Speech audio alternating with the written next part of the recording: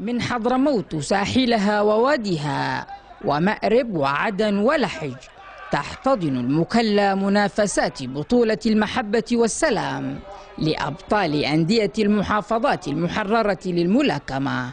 ككرنفال رياضي هو الأول من نوعه برعاية وزير الشباب والرياضة نائف البكري ومحافظ حضرموت اللواء فرج البحسني. هذه البطولة التي ينظمها الاتحاد العام للملاكمة. تشارك فيها سبعة أندية بأكثر من ثلاثين ملاكما من مختلف الأوزان كأول حدث رياضي ضمن المحافظات المحررة.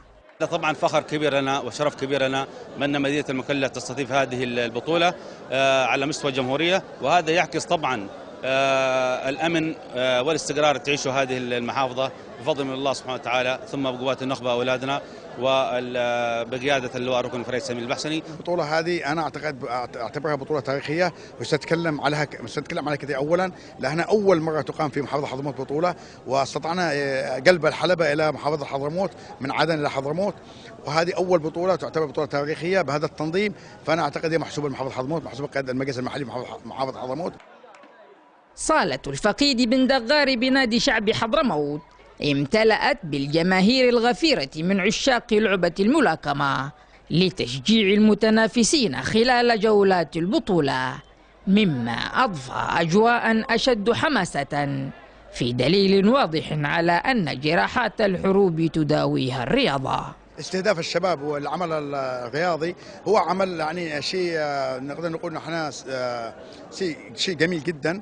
وشيء راقي لأنك أنت تبعد الشباب عن القات عن أشياء أخرى كثيرة. توعي الشباب بالعمل الرياضي أهداف العمل الرياضي فائدة العمل الرياضي. أنت شوف الجمهور الممتاز؟ يعني هذا كمان جمهور واحد يحييه لأنه جمهور حضرموت جمهور مختلف متميز صراحة للأمانة يعني. نحن لن نرى التزام وانضباط من الجمهور كما رأينا في محافظة حضرموت.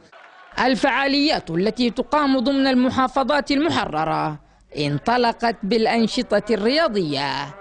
وهي ستمثل حافزا للمشاركة في عدة مجالات منها الاقتصادية والاجتماعية والثقافية لخلق تكامل بين أبناء الوطن بعد تحرير آخر شبر من التراب اليمني.